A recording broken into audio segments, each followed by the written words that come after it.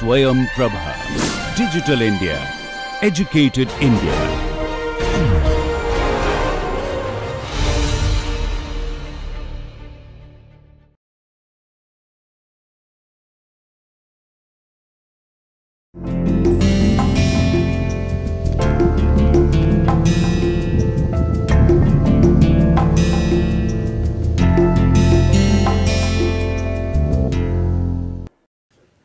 Hello, hi everyone there. Welcome back to my course on developing soft skills and personality. This is a course run by IIT Kanpur in uh, NPTEL MOOC. Uh, we are very happy to know that about 15,000 students have registered for this course and most of you have been enjoying this course uh, very well.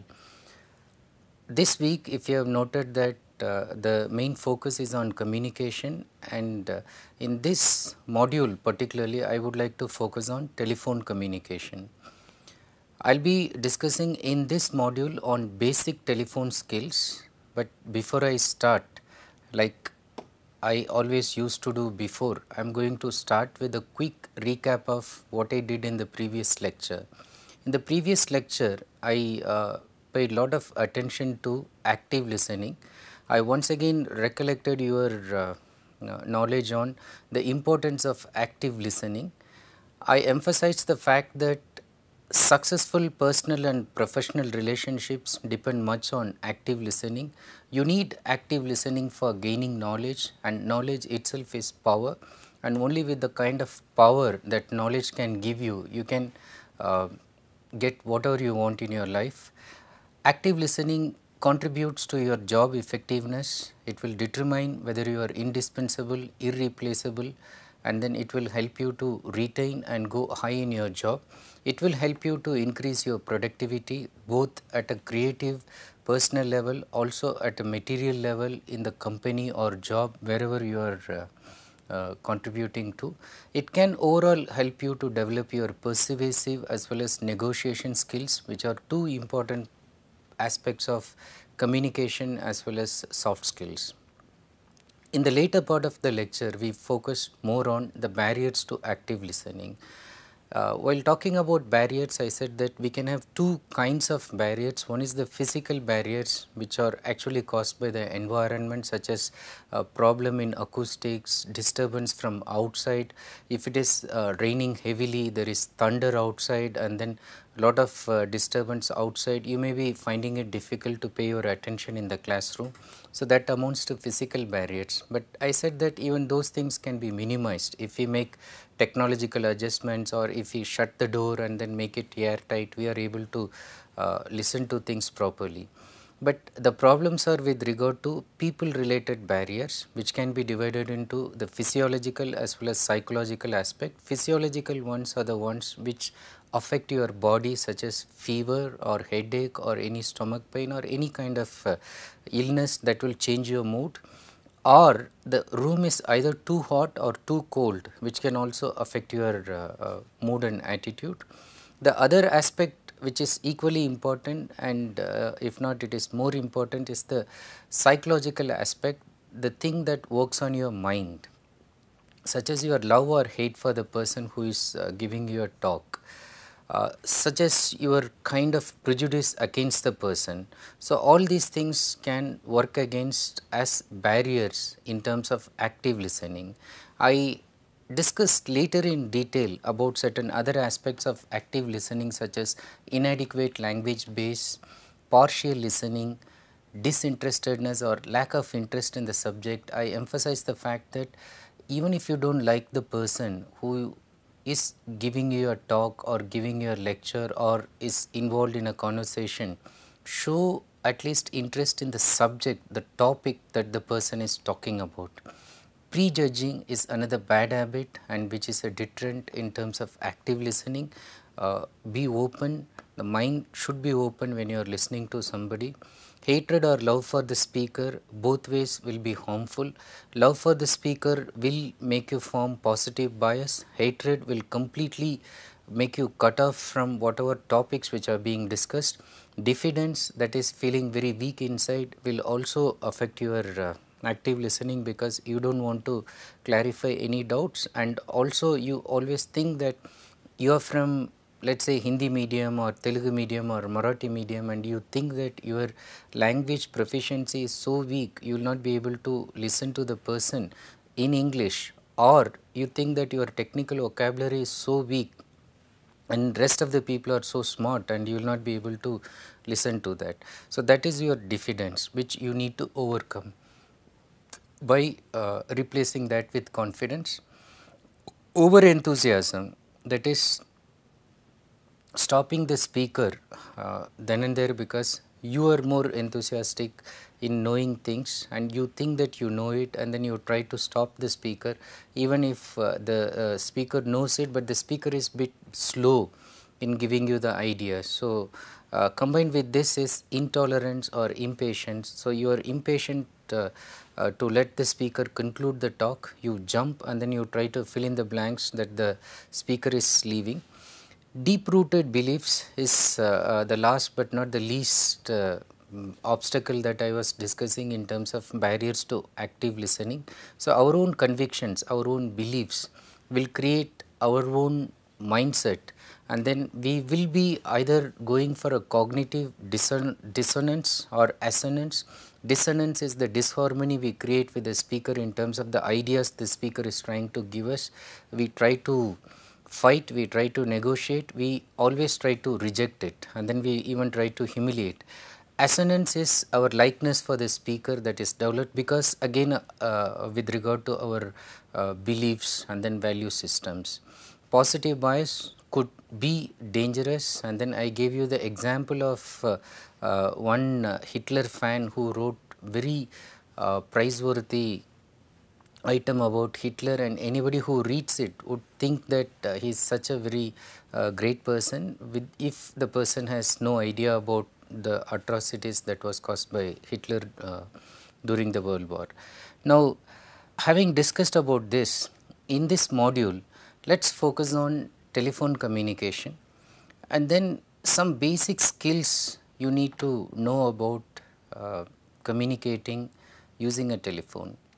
Most of the times telephone is one of the devices which are used for communication or rather which is misused for communication. Or I would like to say that it is one device we abuse it, take it for granted. But when the device was invented by Alexander Graham Bell for the first time and then when he uh, made a call to the then president of the United States. So, the president remarked by saying that uh, maybe uh, this device is interesting no doubt, but uh, uh, I do not know who is going to use this. So, the uh, idea at that time was uh, it was thought that many people will not use it, but you know that it is today not only used, but it is misused, abused and then it has become part and parcel of our life. Now, why is that important in terms of soft skills and personality development? It is important in terms of developing your personality because knowing the way you use phone, knowing how and when you are using a phone, will also tell us what kind of person you are. Now, I just want to ask you some probing questions and then you think about these questions and then you reflect on them and then you identify who you are when you are using the telephone. How do you behave? Now, let us start with first set of questions. Why do you call someone on phone? Think about these questions. Why do you call someone on phone? what is it that is making you call somebody on phone? People tell me that they call somebody on phone just when they feel bored. They are just bored and then they want to talk to someone. Nobody is around. So, just to pass time, they call somebody, they just chat communications one main purpose itself is to just to share ideas just to enjoy the sheer pleasure of communicating with someone if telephone is used for that fine you kill boredom you enjoy so uh, after feeling to someone you like maybe you feel better people also use telephone for curiosity. So you find out why do you use this? Do you use it just for curiosity? Like find out what someone is doing sometimes out of curiosity in terms of helping the person or even in terms of harming the person. If you are uh, preparing for a competitive exam, so you are thorough or tomorrow there is an exam, you are very thorough. So, you want to spoil your friend who is preparing for that, you call and then give unwanted information, create interest so that the person gets distracted from that or you actually call and then share some important information. So, out of curiosity also you call somebody you call uh, someone on phone just because of your insecurity, your own basic insecurity. Both sides, for example, uh, people who are so close between friends, between lovers, between uh, couples, okay, uh, people become nagging. So, we, we say uh, nagging housewife, but we also have the counter uh, suspicious husband. So, both of them use frequently by calling the other person just to check, just to verify where is the person, what is he doing, to whom uh, uh, is he or she making call, verifying and validating. So, one's own security, the other person is imposing it on the other one and then you see what kind of relationship you will be able to maintain using this device. Passing information is another reason why you call someone.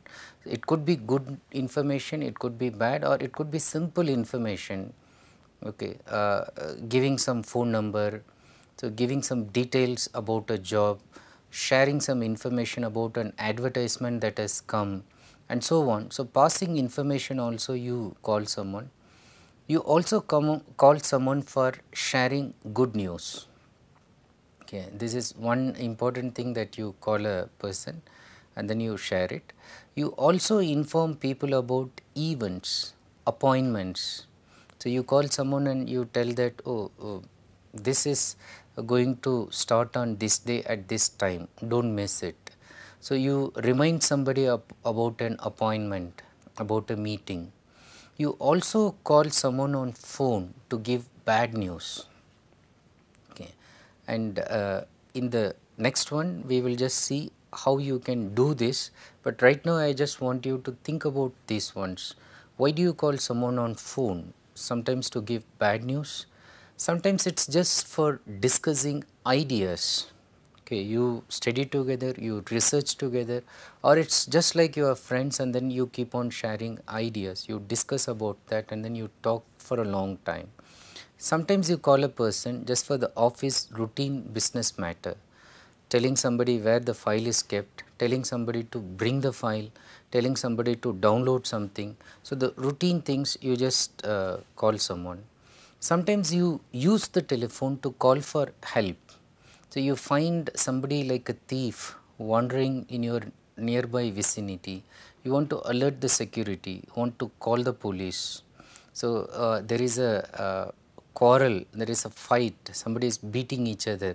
Slowly it might become a kind of communal riot. So, you are afraid, you call the police, you call for help, you make a phone.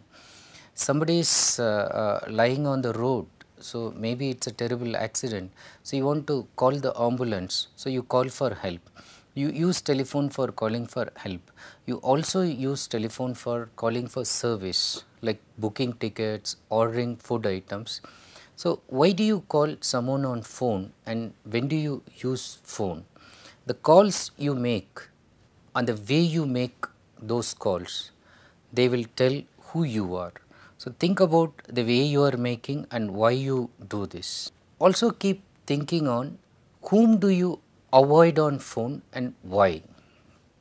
If at all you do not want to make a call, why do not you avoid making a call and then uh, if at all you are avoiding someone, who is that person whom you avoid calling on phone? Why?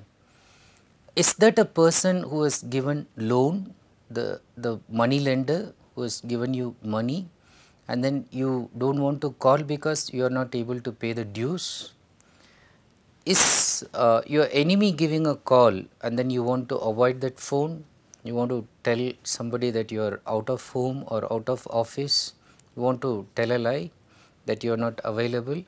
Is it your neighbor with whom you do not have a good rapport and the person is calling to complain something that your tree has grown to the other person's uh, compound and then the leaves are falling and then uh, you are not doing anything about it or any that kind of uh, complaint is that the neighbor uh, that you would like to avoid? Or have you done some misdeeds and then you are afraid of the police so you would like to avoid any call from the police? You are involved in some kind of activities maybe a wrongly implicated corruption case so you are afraid of investigation officer. You are simply afraid of your boss and then you just want to avoid on phone because you don't want to call your boss all the time wherever you are are you avoiding phone call from your wife or a relative or a colleague or colleagues in general? Or you avoid uh, will you avoid phone calls from vendors which most of us do? Even we try to block calls from vendors because they keep advertising things and we don't like. But then there are people who like even getting those calls. They listen to that patiently and then they decide what items to buy. Are you avoiding calls from clients? Are you avoiding calls from customers? Because again you may be a little bit worried that the customer may come and then give complaints or the customer may be angry that some service is not done. Again if you look at it from this angle, this perspective, you will understand that the calls you avoid and the way you avoid them, you use someone to tell that or you look at the missed calls and then you don't pay attention, all these ones will determine who you are. Think about these questions and see how you respond to them. And then the third set of questions that I want you to ponder over are related to whom do you want to talk to on phone.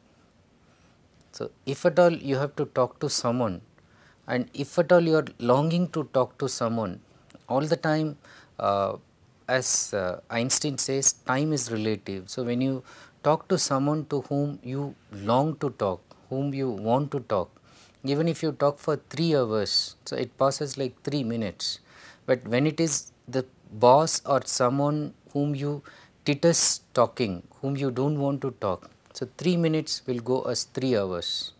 So, who is this person to whom you never mind talking at all? Is it a classmate? Is it a friend?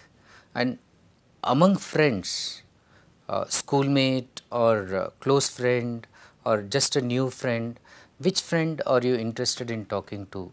Is that a lover or is it your teacher? Is it your employer? There are, uh, although we figure boss as a kind of uh, a terrifying person, so there are very benevolent employers who facilitate uh, the their employees in terms of making them realize their potentials. So, there are many uh, employers, many people who actually uh, create a kind of harmonious surrounding and then even the workers want to talk to the employer. So, uh, would you like to talk to your boss and then share your problems? There are uh, bosses who are so empathetic and then who even know all the problems at home, the things which are causing stress to the workers and they try to help them in a very benign way to sort that out also. Or are you just waiting to talk to your doctor, share some problem and seek some advice? Are you always interested in talking to your mentor who is always trying to help you to groom yourself, help you in your growth, realizing your potential? Or is there any well wisher to whom you want to share some good news and then seek more advice? Are you interested in talking to an inspirer maybe the person knows that uh, he she is inspiring you or not knowing it but you would like to talk to the person if you are uh, somebody like a doctor or someone or at a higher position would you like to talk to your patient and then share some concerns? Or would you like to talk to your student who needs your help if you are a teacher or somebody who is in the education lane Would you just want to talk to an astrologer? Many people would like to even begin their day talking to an astrologer or a happy event in the home or something bad happened, they would like to talk to the astrologer. Or are you interested in just talking to a stranger? So, today uh, people are even interested in calling someone whom they don't know, they just want to build up relationships. Say they pick some number, randomly they call, even they make right relationships by making wrong calls. So, are you trying to take your chance by calling a stranger? Overall, the people you want to talk and the way you talk to them, again it will tell who you are. So, think about these questions who are your uh, favorites with whom you want to talk to. Now, let us look at why phone calls are important. When I was thinking about it, I realized that there are very interesting and paradoxical reasons. Now, paradoxical reasons, a paradox seems to be a very contradictory thing, but then it makes sense when you look at them and put them together in a context. Look at some of the paradoxes uh, uh, with regard to use of telephone and with regard to how it is used uh, in terms of human communication. So, phone calls generally if you look at it they connect us to people okay so they make these connections possible they make the human communication warm and alive but they can also disconnect people. How many times we just slam the phone down and then we say something angrily, we do not want to talk to the person, we just shout at the person, we at the person and even multiple calls, numerous calls have been made. So, we completely disconnect from the person. Is that not a paradox? Phone is helping you to connect, phone is helping you to disconnect and then you leave some of these people cold and uncared for. When you don't want to talk to someone, they are completely disconnected and you don't care how cold, how uncared and how unsympathetic they feel. And then while there are some who hate calling some people, there are others who love to get calls from them. It's another paradoxical thing. So there are some who don't want to call some people thinking that uh, they don't make any sense. But those people are actually looking and waiting for the calls from these ones. Now, uh, this even uh, situations like uh, sometimes children who are uh, uh, settled in faraway places and then uh, parents and then grandparents waiting for a call. Children thinking that in a busy schedule they do not have time to make them call or even tell them very trivial things which are happening to happening to them. Whereas the parents as well as grandparents are waiting just to hear one small trivial information from them which would make them very happy. So this is a paradoxical thing. A phone call could have avoided many suicides. I have heard of people telling that uh, uh, somebody talked to them at the right moment and then uh, it helped them change their mind a similar incident is quoted by Albert Camus in the novel The Fall. So, uh, there is a person who uh, suddenly premeditates suicide with the realization that uh, there's, there's nobody who would really call him or uh, feel emotionally attached and he thinks that uh, it's a, it's a uh, paradoxical thing again that the day in which the person wanted to commit suicide is the day no friend makes a call to him. So, again implying that if only one friend, if only one family member had called him, maybe he would have avoided uh, committing suicide. Now, phone calls can give you life, phone calls can make you commit suicide by not making it in the important time. So, not making a call could have made many uh, people live happy lives making call can also make people live happy lives. So, hence it is important to use phone calls wisely and effectively. So, overall I would say that phone calls are important aspect of human communication you can make or you can more it. So, the way you use it, it is going to tell about your personality, it is determining your personality. It has become a very integral part of human communication and today we cannot do without it. The coming uh, lecture I am going to tell you how we are also by extension using mobile okay. and then before I go to mobile I will also try to tell you some professional way of handling uh, telephone. Now some basic skills before I go to the professional skills in the next one. Basic skills for using telephone as I said many of you may be implicitly using it, but I would suggest you try to learn to use it overtly. You understand why you are using it. First you understand that telephone is different from oral communication that is person to person or from individual to individual face to face. The way you talk to a person face to face is different from the way you talk to somebody on phone. Now this is important because face to face when you talk to someone you can always modulate your expressions depending on what the other person is feeling. You can stop your communication, you can extend your communication depending on the interest or depending on the disinterest of the person who is just sitting before you. But on a phone you do not have a clue okay, on the one hand, but on the other hand you can also take some clues only based on the way the person is expressing his or her verbal uh, ways of communicating his or her ideas. Now, keeping this in mind, remember you have to use telephone very carefully. It is believed that if you if you completely want to avoid someone face to face, you still you can use telephone, but then when you use it, you have to use it very discreetly. Now, if somebody is making you a call, a call that is very important and the person is going to give you some information and you need to note it down. Now, if you are not prepared, ask the person to call again so that you be prepared with the notebook, you can note it down or you are, you are just driving or you are just eating something or you are just attending to some guests. Now, do not do two, three things especially when you have to talk to someone on phone avoid that, be focused. Keep a pen and paper if uh, uh, again even if it is a personal call.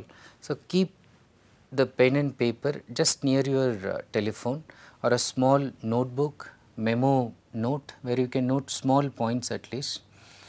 Even in a personal call, do not miss important point, especially somebody telling you that you call someone and pass the information or you do this for them.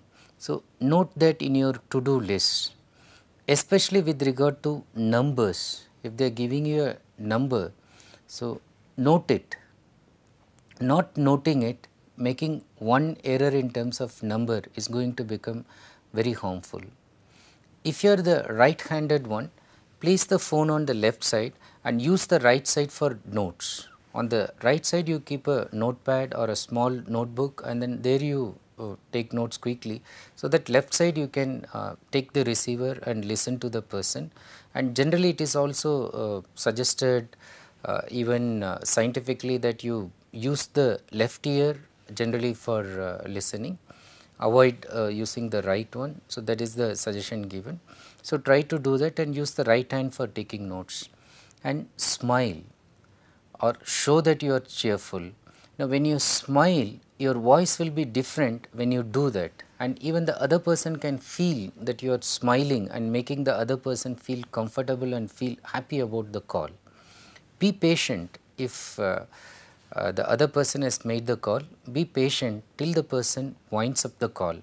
Do not rush to complete unless you have a very emergent thing to do, in which case you can politely tell that there is an important thing, an appointment or a class or an important event that you need to attend to and then you can tell that politely. In terms of time, keep an eye on it, but do not rush as I said. And if the other person is making the call and then the person is trying to speak, remember the tips I gave you about active listening. Make the other person speak. So, you do not interrupt frequently so that the other person feels frozen. So, and then uh, you do not do all the communication, do not make it one way, okay, make it a two way communication and the other side you be calm and comforting so that the other person talks to you more. Never lose your temper even if the other person is trying to provoke you or say something provocative or pass an information about you, a gossip this person heard about it and then do not lose your temper at least on phone do not do this. Do not eat or chew for example chewing gum or munching something when somebody is talking to you.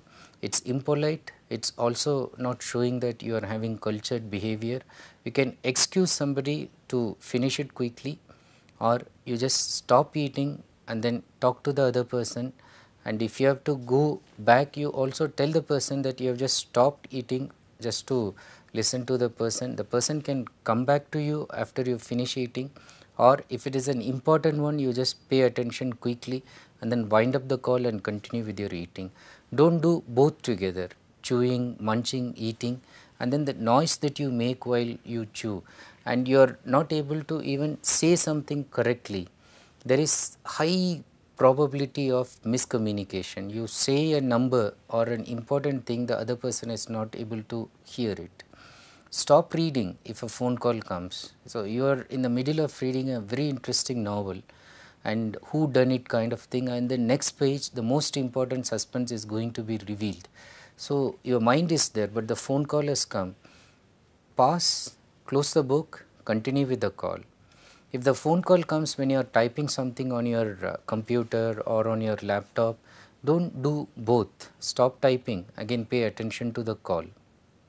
Give verbal encouragements when you do that because the other person is not visible to you and even in your case you have to realize that now it is not a face to face communication. The other person can understand that you are listening only if you are able to give some verbal encouragement. You can say for example i see.